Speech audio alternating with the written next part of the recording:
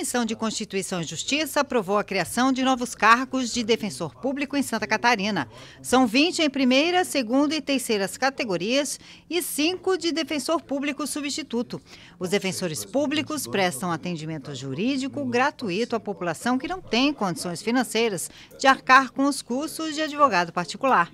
O parecer foi aprovado pelos membros do colegiado com o compromisso de incluir as comarcas que serão atendidas. A gente tem acompanhado o trabalho da Defensoria Pública em todo o estado de Santa Catarina, até mesmo aqui na Assembleia Legislativa nós conseguimos, eh, no ano que passou, eh, colocar um braço da, da, da Defensoria Pública dentro do Parlamento catarinense e hoje nós percebemos também a necessidade eh, de termos a presença desses defensores em outras comarcas e até em algumas comarcas onde hoje nós temos já o defensor público, mas com é, uma capacidade limitada em virtude da demanda. A comissão aprovou também o projeto de conversão em lei que estabelece gratificação aos servidores da saúde que trabalham na linha de frente no enfrentamento da Covid-19.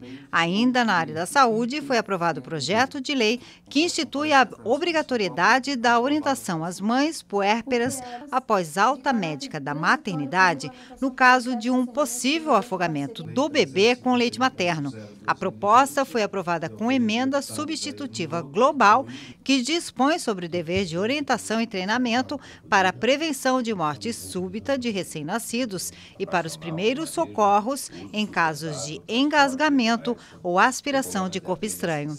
Também foi aprovado o projeto de autoria do deputado Silvio Drevic, que tem a finalidade de atualizar as faixas de valor de base de cálculo para aplicação da alíquota do imposto sobre transmissão causa mortes e doação de quaisquer bens ou direitos. A intenção é evitar a cobrança e o aumento excessivo do imposto em decorrência da inflação.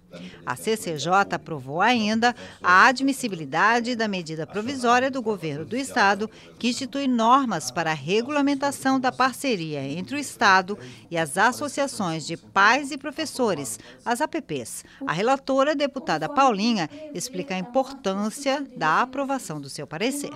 São mais de 2 mil funcionários que estão em contrato com contrato vigente, que precisam ser encerrados e, e contratados esses serviços pelo Estado, para que a escola mantenha tanto a questão de vigilância quanto limpeza em dia.